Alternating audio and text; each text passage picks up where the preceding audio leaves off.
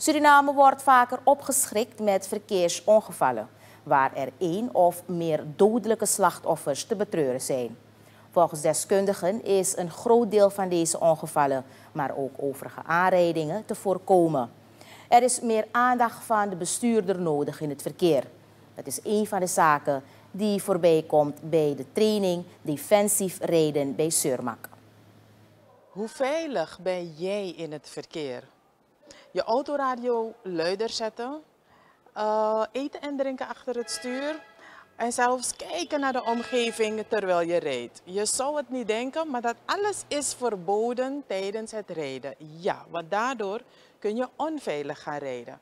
We zijn vandaag hier bij Surmak, waar er een defensive driving training gaande is.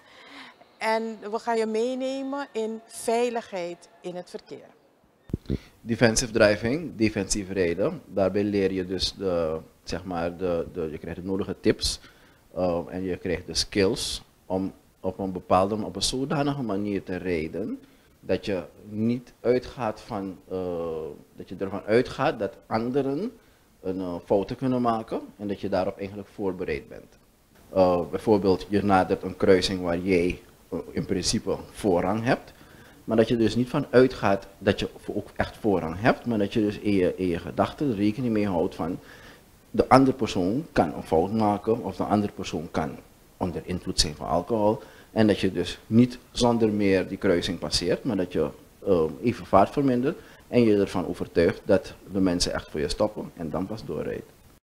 De training bestaat uit theorie- en praktijklessen. Diverse verkeerssituaties worden onder de loep genomen en nagegaan wordt welke besluiten te nemen in het verkeer. Heet hangijzer is de maximale snelheid binnen de bebouwde kom. Veel mensen onderschatten uh, de impact van, van, uh, van hoge snelheden in het verkeer als je, als je opeens tot stilstand zou moeten komen. Uh, hoe lang het duurt, hoeveel uh, ja, de afstand die nodig is om tot stilstand te komen en de tijd die nodig is om tot stilstand te komen. En, en de hoeveelheid schade die je aanricht bij een snelheid hoger dan de maximum toegestane snelheid. Maar ook zaken aan het voertuig, zoals bandenspanning, goede ruitenwissers of een hamertje in de auto, zijn belangrijk. De overlevingskans na een zwaar ongeval is al meer dan 50% bij het dragen van een veiligheidsgordel. Als je achter het stuur zit, is het je verantwoordelijkheid. En iemand die met je meerijdt, is jouw verantwoordelijkheid. Ja. Dus als ik weet dat ik drie mensen mee ga nemen, moet ik alle seatbelts checken. Ja? Uh, ik ga ook met deze beginnen, mag jullie doen. Eerst trek hem eruit, je kijkt dat het niet verraffeld is. Uh, en zo not die je seatbelt vasthoudt, die moet van tijd tot tijd ook checken dat hij niet los komt te zitten. Je klipt hem in. Je laat hem zo normale spanning aangrijpen. En dan hou je volgens het driepunt van contact. Dat is hier. En je trekt zo hard als mogelijk. Zonneverregen heb je slijtage van hoek tot hoek. En zo herken je een correcte bandenspanning. Oké. Okay. We hebben ook geleerd dat banden een verval, een productiedatum hebben. Hè? Een, uh, wanneer het gemaakt is. Ja. En in het algemeen is het ongeveer 6 jaar. Kan je ook vinden op je band. Door deze vier cijfers te zoeken. Dus het is in de 39ste week ge, gemaakt, 2018. It's all about defensive driving.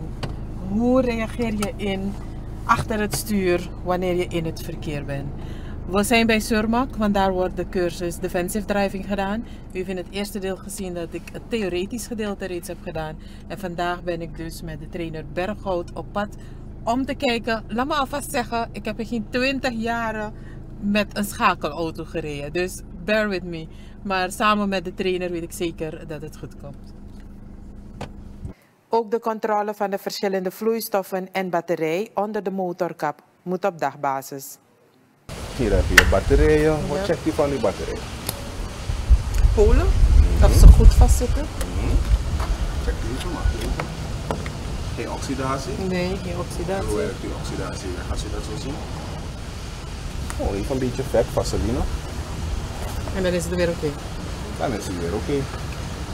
Het halen van een rijbevoegdheid wil nog niet zeggen dat het defensief rijden daarmee ook tot de vaardigheden behoort. In het Surinaams verkeer rijden we eerder offensief, ofwel we nemen risico's. let op in het verkeer, rij niet offensief. Ja? Maar hou er rekening mee dat er allemaal mensen zijn die meedoen en die deelnemen aan het verkeer. Mensen maken fouten, uh, mensen nemen kansen ja? en mensen nemen risico's. Zorg jij ervoor dat jij als weggebruiker uh, defensief rijdt en dat jij de, zeg maar, de, de volwassenere bent in het, in het verkeer en dat jij dan uh, caution onderneemt. Defensief rijden is op elkaar anticiperen in het verkeer en rijden om levens te besparen. Trainer Berghout heeft nog een belangrijke tip als het gaat om het inhalen. Bij het inhalen, wanneer je ingehaald wordt, laat ons zeggen je rijdt en iemand haalt je in. Je observeert dat als je geen tegenliggers hebt, ja, niemand komt tegenrichting, iemand haalt je in, Ja? je voet van je gaspedaal af. Ja? Ja. Zodoende eigenlijk creëer je, je vermindert je vaart voor de persoon die je inhaalt, zodat je ruimte creëert voor de persoon naar binnen te komen. Oké. Ik denk dat ehm, sowieso ik na deze training ehm, al anders rij in het verkeer, al na het theoretisch deel. En nu na het praktisch deel, wat ik in een, in een hele korte tijd heb gedaan, maar eigenlijk veel langer duurt. Het advies is dat u er ook over nadenkt, of erover gaat lezen, of ervoor kiest om ook een defensive driving training te doen. Dankjewel, ook aan August Panza die de beelden voor ons schoot vandaag. En tot de volgende keer.